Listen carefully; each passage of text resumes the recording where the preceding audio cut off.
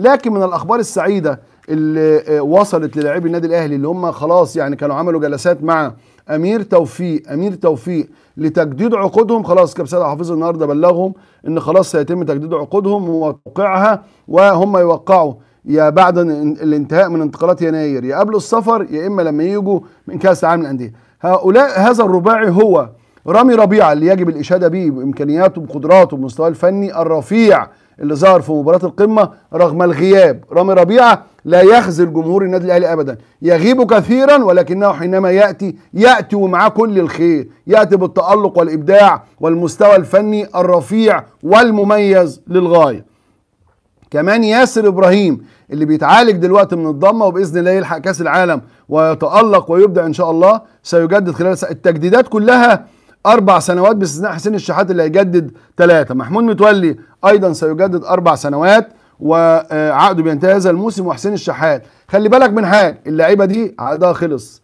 يا سوري يحق لها التوقيع في يناير لأي حد وعقدها يخلص بنهاية هذا الموسم. حد فيكم سمع إن واحد فيهم راح راح قعد مع أي فرقة تانية؟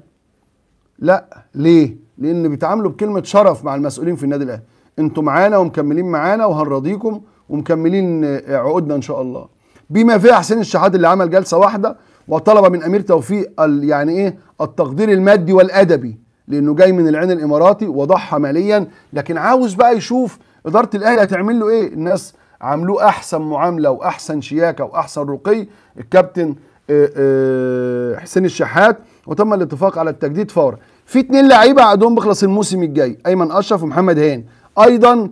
هي برضه هيظبطوا أمورهم وهيجددوا لهم هذا الثنائي. وربما يتم التجديد للكابتن أيمن أشرف. كان مفترض يروح البنك الأهلي. ما راحش. بأمانة بأمانة أمانة. مارسيل كولر ما عندوش قناعة بالكابتن أيمن أشرف. نتمنى إن هو يبقى عنده مزيد من الاجتهاد والأداء المميز بحيث إن هو يقنع الخواجة بمستواه وبقدراته وبإمكانياته في الأونة القليلة المقبلة.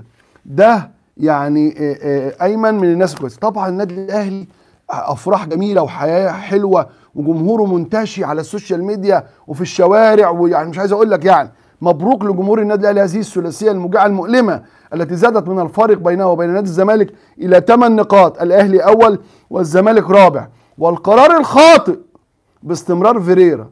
ودلوقتي خلاص كل الدنيا عرفت إن فيريرا ماشي بعد الثلاث مباريات دول. القرار الخاطئ باستمرار فيريرا سيعمق نتائج الزمالك السلبية في المرحلة القادمة. اللهم إلا كان إذا تدخل الحكام بأخطاء ساذجة. ليه؟ لعيبة الزمالك مفركشة. لعيبة الزمالك مش ملمومة. لعيبة الزمالك ما عندهاش روح نفس الروح اللي كانت موجودة السنة اللي فاتت. لعيبة الزمالك ما عندهاش لياقة بدنية. لعيبة الزمالك في حاجات وخلافات كتيرة جدا أدت إلى انفراط عقد نادي الزمالك.